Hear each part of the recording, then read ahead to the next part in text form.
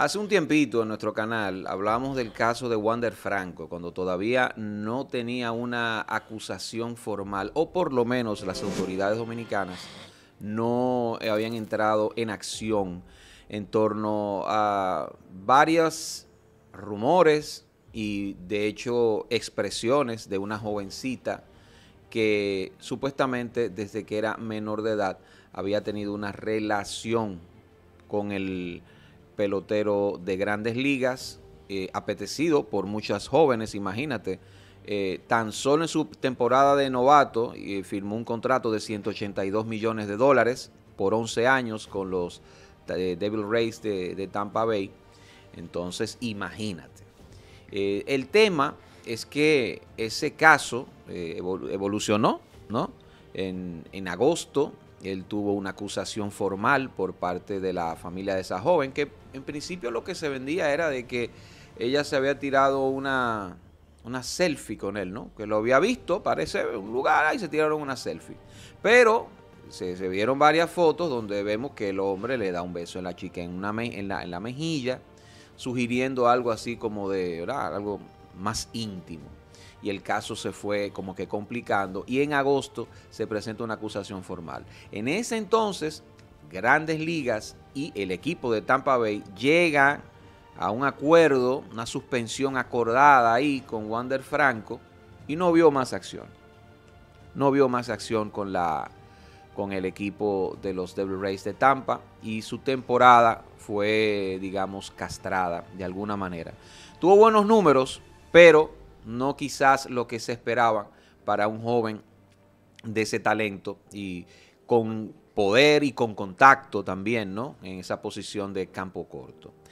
Luego eh, el asunto se, digamos que se durmió, salió del foco público, hasta que este martes 26 eh, de diciembre se hace una redada en las, en las residencias, en las propiedades de Wander Franco, eh, en Baní. Lo que ha trascendido es que no tenían orden de allanamiento. Llegaron varias eh, unidades de diferentes departamentos eh, del Estado, ¿no? coercitivos, si se quiere, de los de, las DNCD, estaba también supuestamente la, policía, el DICRIM, diferentes entidades, ¿no? Entidades mixtas. Yo no, yo no, como yo no he sido objeto de allanamiento, yo no sé si se estila eso, ¿no? Que estén diferentes entidades eh, de, los cuerpos, ¿no? Cuerpos castrenses, cuerpos policiales, no sé. No sé qué es lo que se estila. Si eso es lo que se estila, no lo desconozco. No, no quiero, no quiero eh, alimentar el morbo por ahí. Pero el punto es que me llama la atención que hubo muchísimo tiempo de silencio en este caso se le da curso ahora, cuatro meses después, y ayer jueves, em, que fue citado por la fiscal de Santo Domingo Oeste, me parece, o de la unidad, no, recuerdo cuál es el cargo que tiene. De, niñas de niñas y, niños y adolescentes, ¿verdad? Sí, delitos contra niñas. Delitos contra niñas y niños, eh, exactamente. Eh, Olga Dinaya Verías, pues lo citó y él no acudió. Él no acudió y con un tecnicismo. El tecnicismo es que él no tenía abogado, lo había, los había desvinculado, cosa que llama la atención porque ya ha desvinculado sus abogados tres veces para llevar este caso. O sea que la, cosa sigue muy compleja. Pero si, si, como si todo esto fuera poco, lo que llama también más la atención es que se ha denunciado, y sobre todo el periodista Pedro Jiménez del Sol eh, de la Mañana, eh, y candidato también a diputado por la Fuerza del Pueblo. Valga la cuña. Valga la cuña. Dame lo mío, Pedro, coño. El punto es que él dice eh, que sus fuentes le afirmaron que Audo Vicente fue quien le armó este trote. Audo Vicente, esposo de Olga Dina Llaverías, y si no le suena Audo Vicente, es el gerente general de los Tigres del Licey y un hombre de béisbol, que fue beisbolista y que sobre todo ha brillado en el, en el ámbito de, la dirigencial en el, béisbol. Eh, él, ha él, ha desmentido esas acusaciones, que él ni siquiera conoce a Wander Franco, que no sabe nada de esto y que ni siquiera ve televisión, dijo. Un momento dijo él que no, yo no hago televisión. Yo no, yo no sé, no, él no está enterado de nada. Y que respete el trabajo que hace su esposa. O sea, su esposa hace su trabajo, yo lo respeto y yo no tengo que ver con eso. Eso es básicamente lo que él dice. Y yo la verdad es que veo que, mira, yo no sé a quién creerle, pero sé que el caso es, está tomando color complejo, un color complejo, pero a la vez te lleva a lugares comunes, donde un hombre poderoso, de mucho dinero en este caso, como Wander Franco, digo poderoso, ¿verdad? Por el dinero que tiene, puede ser objeto de extorsión. Óyeme. Puede ser objeto de extorsión. A mí me pinta eso desde un principio, porque estamos hablando de un caso desde que viene de agosto. Nosotros hablamos en el momento aquí, en su momento, cuando analizamos ese tema, lo analizamos desde el punto de vista eh, cultural dominicano. Ustedes saben que para nadie es un secreto que estos jóvenes tienen noviazos y relaciones con otras jóvenes menores de edad. Aquel caso ha trascendido porque es un pelotero y porque tiene una firma de millones de dólares. Si no, fuera un caso más de los centenares de miles casos donde existen relaciones de una menor de edad con otro joven menor de edad o con otro joven que legalmente es mayor de edad pero que le lleva dos o tres años. Entonces aquí la legislación dominicana se supone que si una relación entre personas de la joven menor de edad y la diferencia es menos de 5 años, pues es un noviazgo, es una relación. Ahora bien. A pesar de que uno, uno de ellos sea ya mayor de edad. O sea, 16, 19 años. Sí, porque tiene una relación de hace varios años. Eran menores de los dos y han seguido la, relación. Eso es lo que se estila, ¿no? Siguieron la relación, llega un momento en que como le lleva tres años, él llega a ser menor primero que ella. Perdón, él llega a ser menor. Mayor, primero que ella. Mm. ¿Cuál es el tema aquí? El tema aquí es. Que primero. disculpa, Mario, que no es este caso. ¿Eh? No es este caso porque estamos hablando. No, no, no, porque estamos hablando de que cuando ellos se conocieron, él tenía 19 y ella tenía 16. Pero él era mayor de edad. según las informaciones. eso es lo que. información? Oye, lo que pasa, mírame. Esto no está muy claro para mí. ¿Por qué? Porque primero recuerden que trascendió que supuestamente él, la vio ahí y se dan una foto. Y después trasciende que no, que se conocían de antes. Y después trasciende que sí, que eh, posiblemente tenían una relación. Con relación, por la razón por la cual está el caso. Porque si no hay relación no hubiera caso. Entonces, ¿por qué tengo que creer eso, esa versión de que se conocían después que tiene 19 años? Porque Pedro Jiménez dijo que tiene una fuente hizo el recuento de cuando se conocieron hace tres años, que la muchacha lo vio pasar a la superestrella y le pidió un selfie. Hace tres años. Él tenía 19, ella tenía 16. Sí. la, relación, eh, la relación no era de antes de ahí, sino después de ahí. Según esa fuente. Según la fuente de Pedro Jiménez. Correcto. y, lo tomamos como... Yo, discúlpame, eso yo lo tomo como una vocería como una vocería. De parte de Franco. Lo, pero lo que digo es, pero lo que digo es, estamos, aquí Sospecho estamos. yo, ¿no? Sí, pero que tenemos que analizarlo desde el punto de vista de, tenemos varias fuentes, tenemos varias versiones. Esta es una versión más. De una fuente, de un periodista, vamos a tomar como, como, como bueno la versión de Pedro porque es una fuente que le dio la información a él. Ahora bien, tenemos como cuatro versiones del mismo tema. Que no se conocían, que sí se conocían, que no tenían relación, ahora tienen relación, que relación es vieja. Ahora, lo que sí es real es que hay un caso que empezó en agosto y que hoy en día Franco fue citado y no fue. Ya eso tú no puedes quitarlo porque hay documentación que avala eso. Todo lo otro son versiones hasta que se compruebe la veracidad de eso. ¿Cuál es mi punto con, lo que estoy diciendo ahora con, el tema de Franco? Que aquí la gran diferencia en el caso de él con otros casos, que aquí yo no estoy viendo que están hablando de violencia, de que fue la secuestró, de que le dio una bebida rara, no de que tuvo una relación normal. El gran problema es que ella, sí, el gran problema es que ella es menor. ¿verdad? Ah, pues no es normal. Escúchame, escúchame. Digo normal en los aspectos de que no hay una, que no, hay un forcejeo. El problema aquí es que ella es menor. ¿Y qué yo digo aquí? En Dominicana eso es habitual. Y está normalizado aquí en República Dominicana, aunque, aunque, aunque nos Aunque haya leyes en contra de eso. Claro, sí, hay leyes, pero está normalizado. Cuando viene a ver tu, mamá o tu mamá. Dice normalizado es. Que tiene relaciones con menores de edad. Cultural. Y, No, está normalizado. Usted va a un barrio ahora mismo. Usted va a cualquier barrio. Y no estamos hablando de barrio pobre. Barrio, barrio de gente pobre y barrio de gente rica. Y tuve jovencitas de 16, 17 años y menos de 15 años, con novio, teniendo relaciones, lo sabe la mamá, el papá, el tío, todo el mundo lo sabe. Y no es gente presa. Y, le, gusta, y, le, gustan mayores que ella. Sí, sí y, eso tiene una explicación hasta psicológica. las mujeres en promedio maduran primero que los hombres. Y tú ves carajitas que la cajita de, de, 13 años tienen amor con un chamaquito de 16. Porque el chamaquito de 13 años, igual que ella, anda con un grajo arriba, corriendo y jugando bola y pelote con un grajo. Y la chamaquita anda limpiecita. Entonces, ¿quién es que anda buscando noviecita? Que tiene 16, 17, que anda ya en pepilladito, bañadito y tal. Entonces, cuando tú tienes una cultura dominicana, que es normal que los menores de edad tengan relaciones en todos los barrios. La diferencia aquí para mí es que él es pelotero y tiene millones de dólares. Y hay una oportunidad de negocio.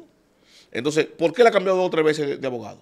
Yo sospecho que porque esos abogados no están haciendo su trabajo nada, y que para sacarlo al del lío, sino que estaban, vieron una oportunidad de negocio.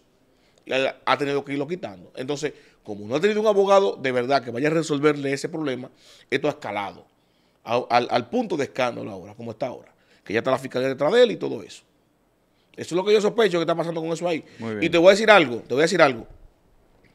Si esa fiscal de niños, niñas, adolescentes y tal, empezara realmente a buscar casos, literalmente, que infringen la ley por lo que dicen los artículos, que usted menor de edad no puede tener relaciones. No da esa cárcel para meter gente presa. Le, queda este corto el presupuesto. No, ni el presupuesto ni da la cárcel. Ella, ella puede salir con así, random, como dice Maracayo, random, por un barrio, cualquiera, así. Tan empieza. Arranque por esa calle para abajo. Que usted se va a llevar por lo menos 60 presos de tigre chamaquito de 19, 20 años con novia de 15, 16 años, teniendo relaciones. Y la mamá no lo somete, ni el papá lo somete, ni del hijo, ni, de nadie, porque es normal en el, barrio, en la cultura dominicana. Eso no es un problema, porque es una relación sana, que ella menos le da. Por eso tiene su noviecito hace 4, 3 años. Ah, él tenía 18, ya tenía 15 cuando se metió en amores. Ahora tiene 25 y ya tiene 20 ahora. Y están casados, tienen tres muchachos. Yo tengo amigos, amigos, amigos que tienen hijos, dos y tres muchachos. Ya ahora uno tiene 16 años. Ella, el primer hijo que tuvo, ya tuvo, tenía 16 años. Hay que meterlo preso hoy. Bien, aquí. ¿Tú me entiendes? Yo, sí. Hay un tema aquí. tema, complejo, tema complejo, tema complejo. Te entiendo perfectamente, pero este tema se complica aún más con lo que Pedro Jiménez dice que su fuente le dijo que Audo Fernández. Vicente, Vicente, Audo Vicente. Audo Vicente Vicente está involucrado en este caso porque su fuente lo identifica como el extorsiano, este, extorsia, extorsiano, extorsionador, extorsionador, Quien fue quien subió las fotos, y aparentemente asesoró a la muchacha y quien le está pidiendo algo a la, a la familia. Eh, no, pero Maracayo, pero no, no que asesoró. Cuando vino a ver, él puso la muchacha en eso. Sí, eh, claro, porque es que una muchacha de 15 años que ella está buscando un braguetazo, su cuadro. y él ve, vamos a buscarlo esa, esa chica, esa chica dio un argumento poderoso para ella. Dijiste que ibas a estar conmigo. Dijiste que te ibas a casar conmigo. Bien. Eso era. Todo iba bien en amor, escúchame, de un jovencito de 19 años con una jovencita de 16 años, hasta que se dejaron. El error de él, de Franco, fue dejarse de ella. Y, hace, y desde agosto, cuando el lío, ¿sabes qué él debió hacer? Busca un anillo y proponerle matrimonio. No tuvieran este lío. Eh, es Está bien, es grave, pero yo digo que lo, grave es por las personalidades que están involucradas. Y está tiempo. Y porque Audo es el esposo de la fiscal que está llevando el caso. O sea, esto se, esto se está volviendo demasiado complejo. Y bueno, lo primero es que la fiscal debería, o bueno, o sea, aclarar ese, ese asunto de, de lo de su esposo y y yo creo que lo más recomendable es que ella se aparte, ¿no? Yo entiendo, yo entiendo. Está todo el mundo atrás de cuarto. Yo entiendo que ella. Ahí está todo el mundo atrás de los cuartos de, de Wander. Está todo el mundo atrás de los cuartos. Yo entiendo... La chamaquita está de cuarto, el abogado está de cuarto, la fiscal está de Todo el mundo atrás de cuarto. Pero más, más, lo que Él necesita un asesor. Contate a mí, mírame, y yo te voy a salir barato. Y yo te aseguro ese problema a ti en 24 horas. Pero lo más, lo más extraño es que... Me lo llevo ahí a, a Montepiedad a buscar un anillo para que tú resuelva el problema. Estamos hablando de una persona como Wander Franco, que es un es rico de cuna. Él es millonario, pero su familia es multimillonaria. Está rodeado de familias multimillonarias por los, familiares que tiene hermanos es, eh, Grandes Ligas, padre Grandes Ligas. Su papá jugó en Grandes Es Ligas, decir, pero no sé si. eh, no- bueno. su papá no, no fue exitoso, pero su, eh, su madre, Nancy Aybar, eh, es hermana de, de uno de los menores. Hay millones por que todos jugó en los Grandes lados. Ligas también. eh, los famosos menores del Licey, digo, Eric Aybar. Eric, sí, Eric. Nació, Una nació- leyenda del Licey. Nació, De nació, vergüenza me da hablando de esa vaina. Yo, nació rodeado de millones. coño. nació rodeado de millones y él tiene millones. Y estamos hablando de que se encuentra con una muchacha menor de edad, vamos a poner que, supongamos, vamos a suponer que sí, que tuvo relaciones con ella, eh, que se la dio, se la dio, una más, una más, se la dio. Y que esa muchacha de orígenes humildes, eh, bueno, se ve asesorada por algunas personas, vamos a sacarle un, un dinerito a, a este muchacho. Ya que él no te cumplió, que no se casó. Sí, vamos a sacarle un, un dinerito. Este muchacho el dinero le sobra. Como para haber resuelto eso. ¿Por qué? Porque si no, tiene mucho que perder. La Grandes Ligas lo suspendió. No, Entonces, y su carrera. si el su problema está, era está dinero. difícil que él pueda volver incluso a Grandes Ligas. Si con- el con- problema con este se tema. resolvía con dinero, ¿por qué no se resolvió con dinero? Y llegó hasta esto. Sí, él fue un paraguayo. La actitud. No, pero ya no. No, no. no sé, estoy- yo estoy diciendo, o sea, Ah, uno, me- está, uno está augurando. No, pero recuerda que eso empezó en agosto. ¿En qué me vamos? Ya le han sacado mucho cuarto. Lo Mario. que pasa es que son insaciables. Ahí lo estaban mareando ¿Tú para sacarle cuarto. Según las versiones que han salido ahora, yo lo que eh, lo que puedo deducir es que le han estado sacando cuarto de agosto. Pero eso no Entonces se él no vio, él no vio un cese. O sea, ¿dónde termina esto? O sea, ok, ¿quién cuarto tenga? ¿Y cuándo termina esto? Y no termina, lo siguen chantajeando, le quitan más, lo siguen lesionando, le quitan más, y le están dando de vuelta. Él se jaltó, se puso bruto. Yo que digo a él, que él no, tiene, él no hasta ahora, de la gente que estaba supuestamente ayudándolo para salir del lío, ninguno estaba en eso. Han estado en cuarto también. Él tiene que tener un hermano, un amigo, un primo, un tío, alguien que lo quiera de verdad. Diga, mi hermano, resuelve eso con un anillo.